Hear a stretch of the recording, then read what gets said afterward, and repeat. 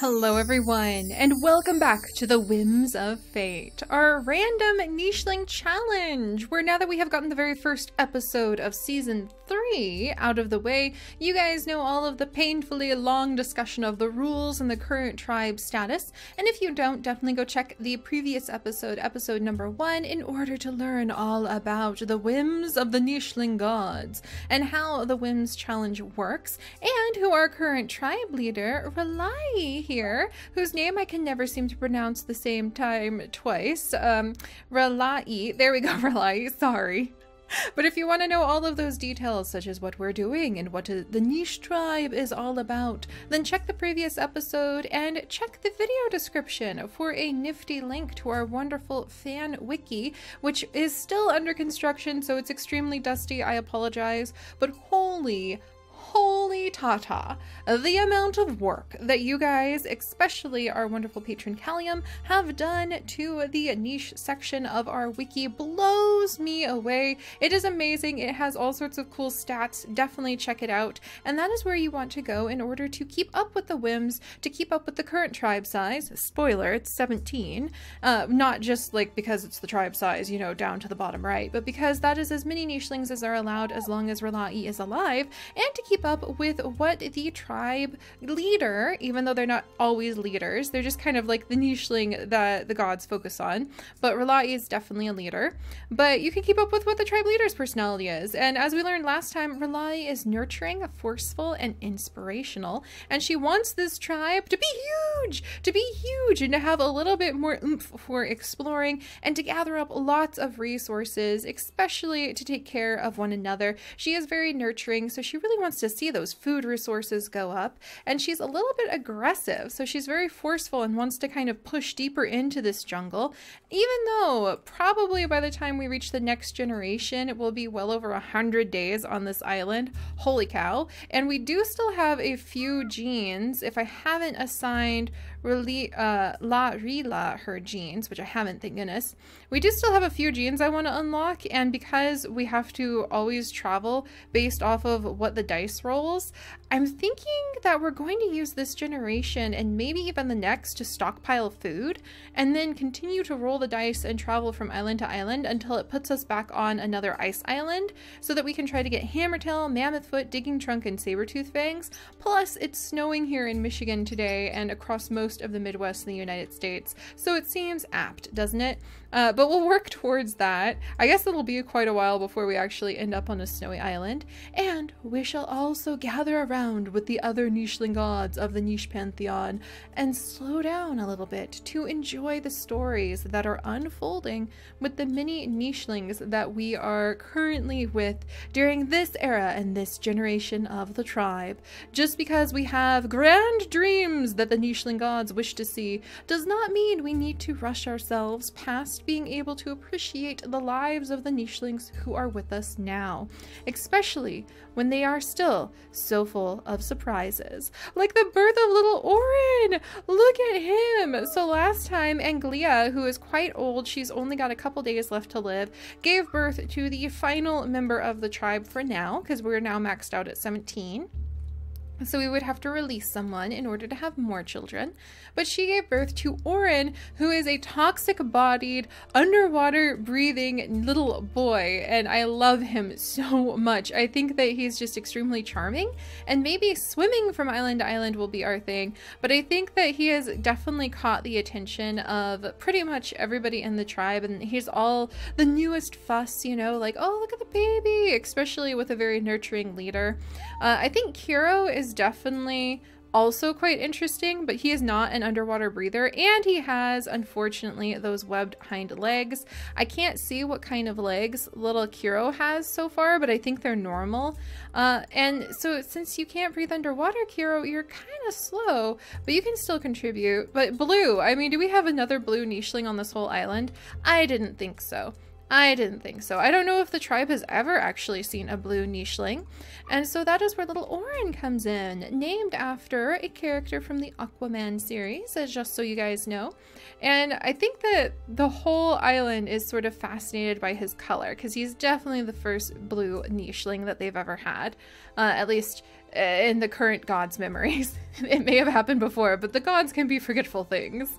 Anyway, with that in mind, R'lyeh is still very young for a leader, and she does have that extremely forceful personality and has charged off. She wants to explore these edges that have been untouched for generations, especially ever since we were ping ponging around this island doing our best to survive. We haven't seen an ape in a very, very long time. Um, and we haven't died to these plants in a very long time, but it could still happen. So some of the nichelings are not quite as forceful as their wonderful antlered leader, and they're a little more cautious with going forward. And I think that may actually include Ronu, who until now has actually been a mate, I'm pretty sure. I'm pretty sure Ronu may be Lee, uh, Larila's father, but I'm not positive. So I think that uh, Ronu actually does not want to follow his mate as she tears off into the edges of the wilds with that forceful personality, her inspiration to explore. And because she's very nurturing, she would call her daughter Larila to go with her. So Larila would cast a glance over her shoulder at her father, who kind of mutters to himself and says, you know, he better he better keep an eye out on things here. You know, it's important to make sure that, you know, there could be some some roots to dig up. This tree might have some things to collect on it pretty soon. Uh, you might have to call. He'll he'll call. You'll still be able to hear. You'll still be able to hear me call. Uh, I'm sure that's what Ronu is telling his daughter. Like, you'll still hear my call no matter how far you go. And Larila is going to join her mother on the hunt. On the hunt as, oh, look at that.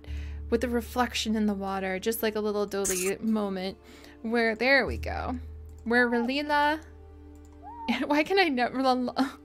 R'lyeh. R'lyeh. Why can I never say your name the same way twice? Uh, this is so funny. But she is calling her daughter, as a nurturing mother would, to her side so they can begin exploring the edges. Meanwhile, Krovan, I feel, might actually have his eyes on R'lyeh. And I don't remember... You know what? You're just Rala. From now on, shorthand Rala. You're you're a very personable leader, okay, Rala? You're like, ah, R'lyeh? No, no, no, no. I'm Rala. Just call me Rala. I'm I'm reliable Rala. You can take care of it. Like I'll take care of the whole tribe. Don't worry. So Karovan here, I think, is keeping an eye and kind of enchanted with the entire overall look of Rala, and I'm not sure if they are actually related because the Nicheling gods are forgetful things over the months, and I cannot look at the family tree to tell. But I do think he would be kind of gathering a few of these berries and glancing over his shoulder and keeping an eye on where Rala, his very charismatic leader, is going. Meanwhile, over here we have Rokirta, who is an underwater breather. He is also a fighter, so he can actually, boom, look at that! He just took a gigantic jump that probably made Iris kind of glance after her son with some concern. Right off of the top peak. I think he loves diving. Look at that. Did you see that big dive? I think Rokirta might do some adventuring, maybe over to like these cliff sides in the jungle where he can dive off into the waterfalls. That sounds like something he would love and it sounds like the perfect kind of companion for Kiro, who might really appreciate hanging out with a young nicheling his age. So we're gonna let Kiro hop this way, past Nugget, who is quite busy gathering up a little bit of food here, and quite slow. Nugget, Nugget doesn't move the fastest. I think Nugget has a little bit of a rotund tummy now that I'm looking at him again. I uh, not just because he has toxic body, but something about Nugget and the way that it like there's not a single fruit on this tree makes me think that he just spends his whole day plucking fruit and eating it and he has quite the rotund tummy. I would actually love that if you could have nichelings who maybe could overeat and like put on a little bit of weight. Uh, that would be kind of adorable. Uh, completely impractical for the sake of the game, but absolutely adorable to think that Nugget likes to stay right where he is. He's not very athletic with those webbed hind legs. Uh, he's a bit of a dainty eater with that little velvet paw and those nimble fingers, and he loves plucking every single fruit off of this tree and maybe even occasionally spicing his food with one of the healing berries, of which we have many actually. All right, Goldfish unfortunately passed away last time. That was quite upsetting, even though I don't remember much about Goldfish. I apparently have the memory of a goldfish, but not memories of Goldfish, as uh, sad as that is. But Goldfish has passed on. If any of you in the Nicheling Pantheon remember why Goldfish was amazing, because I vaguely remember she was amazing for some reason, then please, please share that memory with us because this Nicheling goddess has forgotten. and then down here we do have Jip. He is actually quite adventurous and gathering up the coconuts that are over here.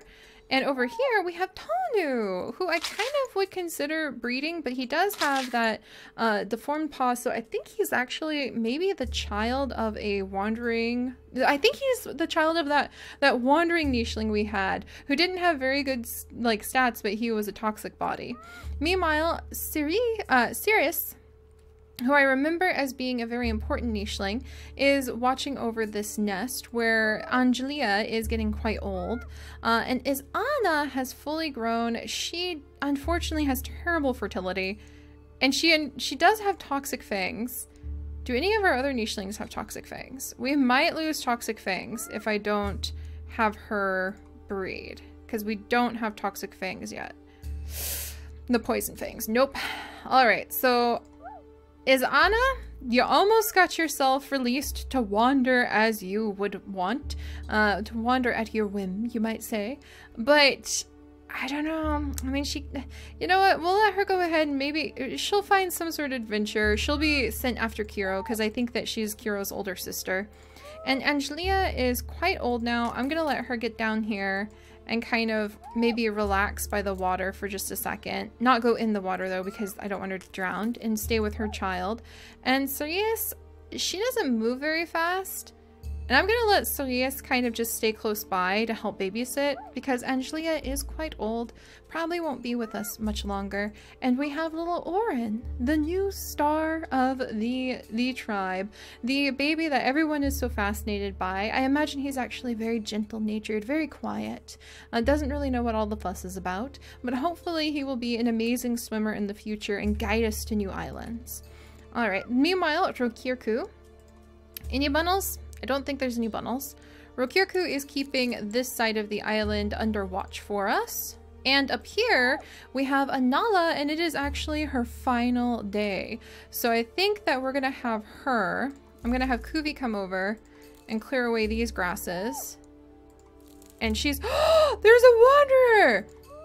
Old Lady Anala has found a wanderer in these here bushes. And she also has like stabbed open that plant in her final moments. Uh, so, and she and Kuvi are going to sit here on the edge of this cliff and have a moment to reflect on their life here in the tribe and the fact that Anala really looks like she is from her Seeker's tribe. And rest. The scent of a new nicheling is here, and although they don't react too dramatically, I feel that neither of these nichelings would um, you know, neither of them would give away the fact they have scented a new nicheling afoot. But I think Anala would just glance over at Kuvi give him a little nod. He would nod back, and he would know what he must do to go and find who that scent is and if they are a threat to the tribe. So, our powerful five level attack nicheling is about to pass on, but I do believe that we do have really good attack. Eight level attack on Rala. So yeah, I think that I think that Anala is comfortable with her long life that has been lived for many more months, mostly because the Nicheling gods were not able to come and check on the tribe for so long, than most Nichelings, knowing that there is such a strong, strong leader guiding everyone. But alright, that should be everyone. Anala, since it's your final moments, rest in peace. Oh, man. That's really potent to just like sit here and look as Kuvi is suddenly alone in the jungle. Rest in peace, Anala. We will try to find that strange nicheling that you scented. Uh, and we'll go ahead and clear this away so that we have found and defeated one of the plants who could have otherwise eaten our nichelings. We don't have any other trail of scent over there. And meanwhile, Rokirku, uh, excuse me, Rokirku can gather up these grasses so that we can have a clear line on that. It is Angelia's final day with us, so let's have her walk along the beach with her baby if possible. I'm going to go ahead and destroy this nest so that we can have the resources back because we probably won't need it. I'm going to let Ange Angelia kind of walk along the beach. Cyrus is going to stay here to kind of babysit. Uh, and Izana can at least gather this. Oh, but I think that would have made Nugget upset. Like, those were mine! so Izana will continue to explore deeper in. Kiro, oh, he wasn't able to catch that bundle because he got too tired. But Rokieta may have just noticed that he might have a bundle catching friend. So it, he's a little young still to go in the water on his own, but he just spotted another nicheling his age chasing bundles and he might want to do something about that. Meanwhile, Nugget, are you gonna are you gonna fuss about that? I don't know what to do with you, Nugget. In fact, I might actually, I mean, he can just stay here and eat, but that's not very effective. So I may have these two actually leave the tribe. They're not going to go far um, at some point. And then let's come over here. I think Iris would be a little concerned about where her son has just run off to. Uh, let's go ahead and have Kirovan grab that nut. But she's got she's got quite a bit to collect over here. She's quite busy with all of these foods, possibly hoping for another nut collector to help her out. Uh, you could come back up here, uh, Kavanro, but I think Kavanro's eyes have actually, his attention has shifted and he has been distracted by the young Rala. And let's see, let's have her daughter run next to her mom. They're right up here to the edges. Rala is excited. Boom! And Rala is now across the way where there is danger afoot. There is danger indeed. Danger plant. Uh, that needs to be defeated. So I think that, that Rala is very nurturing, but she would be willing to bring her daughter into danger to show her how to take care of herself with these dangerous plants and to uh, eradicate the threat to the tribe. This plant right here is not currently a threat. Um, and what are you gonna do? Well, Ronu's little bush has just regrown, so I feel like he would spend a lot of time just surveying there. And then if I can actually get Jip... Can, can, here, Jip, you're gonna back up. He's gonna be careful with these coconuts. But he might gather up these coconuts. Just, to, he doesn't have very many moves to do that with. Alright, so that's taken care of. Rala is the tribe leader, but I feel like she is also very... She's very ambitious and she has no problem risking her own life if it means teaching her only daughter how to go ahead and defeat threats to the tribe. So, hmm. Oh no, we had another death! Oh yes, it was Angelia. Angelia has passed on! The elder Angelia has now left us and has left behind her new son Orin, who is quite shocked by this. Like, to lose his mother is kind of a big deal. Um, and we'll have him gather some grasses, oh, unfortunately didn't work, and pay his final respects to his mother. And then Cyrus, I mean, she can gather nuts. Cyrus is going to start wiggling this way to gather from the coconut tree. And I guess Izana, you can come and sit, and I think that she kind of does pout a little bit. Like, she can't move very fast. She's got dainty paws. She's got webbed hind legs. Nugget just chewed her out from eating the smelly fruit from her tree, from his tree. and so I think she would just kind of sit on top of the tree trunk and survey everyone. But I don't think it would go unnoticed that she's not really contributing to the tribe in any way. Right now we have enough food and resources that that's not a terribly huge deal but it's not really something that would go unnoticed either.